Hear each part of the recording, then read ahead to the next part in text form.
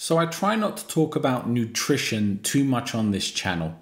Not because I don't think I have the knowledge appropriate to talk about it, but because for me it's just one of the most charged topics. And I don't want to upset people or anger people by simply giving my opinion on what I think is right to eat and what's not right to eat. There's so much research out there that contradicts things. And of course, there's things like the ecological effects and uh, animal rights and all the rest of it that come into it. So I tend to steer away from it where possible. But I noticed something very dramatic in myself, so I'm simply sharing today my personal experience. This isn't an attack on anyone's way of eating. This isn't me trying to bash certain food groups.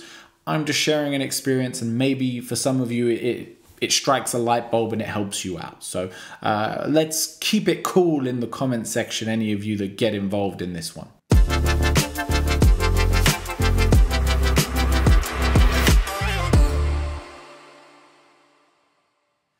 I don't know if you saw some videos I did a few weeks ago. I'll try and post a bit of a clip of one, but my skin was terrible.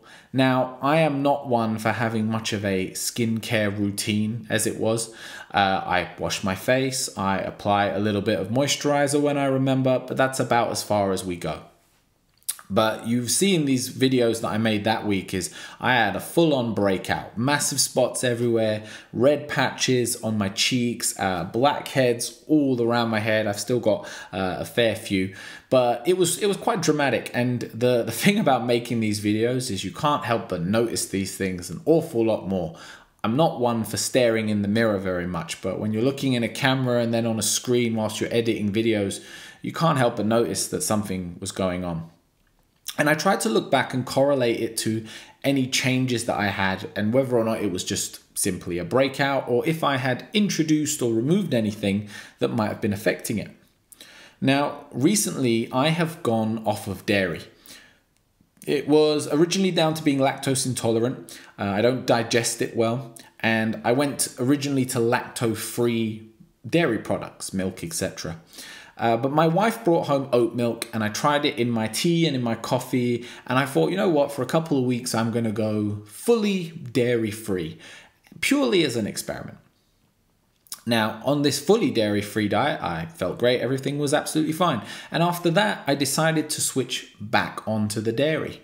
And it was on switching back to the dairy that I had this breakout in my face. And when I thought about it, when I came off of the dairy, not only did my face seem to clear up, but also spots on my back and on my shoulder. I've got a couple of uh, what would be referred to as sebaceous cysts. Uh, they're harmless cysts, but I get them like here on my chest, completely, for lack of a better word, deflated. And my skin was looking great.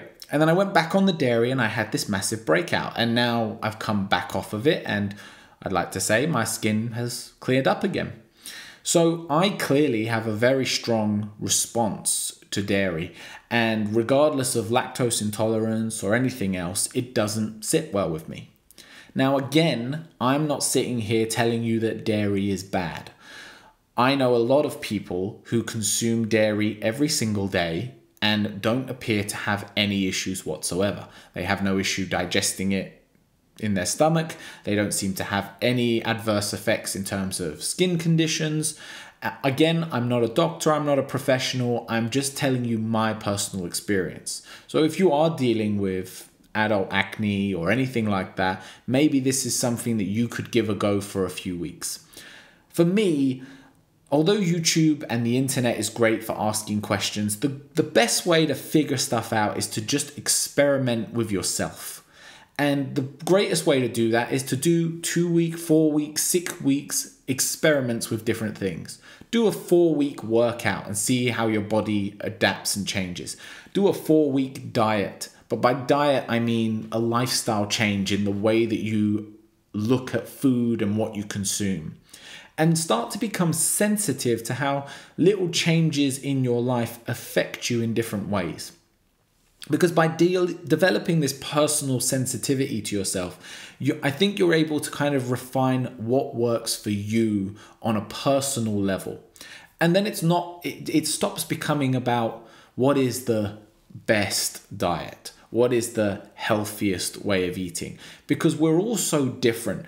And i think the reality of it is is that question is not as black and white as some people would like to think that it is and i think the best thing for everyone to do is to experiment with themselves and figure out what works best for them. So the reason I'd even bring any of this up on this channel is because if we're trying to be the best version of ourselves and we're trying to live the most happy, fulfilled lives, nutrition is a huge part of that. It's where we get our energy from. It has a massive effect on the composition of our bodies and how we look. It massively affects how we're going to age and how we're going to have vitality in our later years in life. So to, to think that it's not related to your personal development, I would say is ignorant.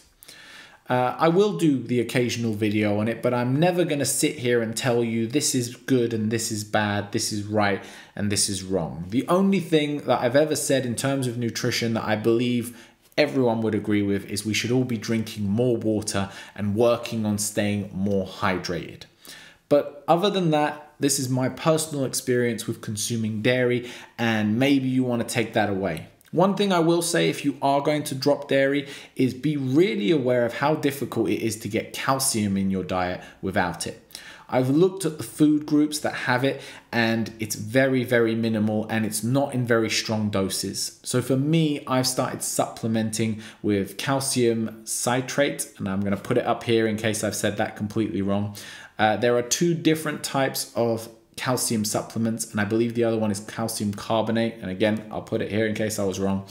Uh, one of them, apparently, the other one to the one I'm consuming, provides a lot of issues with things like kidney stones and stuff like that. So if you can avoid it, avoid it and go for this style. I mix it in with some juice in the morning, and then it kind of covers me for the rest of the day. Guys, I'll leave it there. And as always, take care of yourself.